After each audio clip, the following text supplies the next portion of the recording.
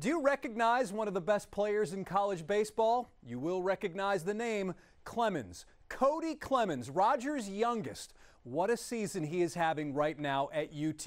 Start with batting average. Look at this. As a freshman and a sophomore, he hovered right around 240. This season as a junior, he's batting 356 and he's hitting with power as well. His first two seasons, five homers here, five homers there, but this year, as a junior, he's already hit 13.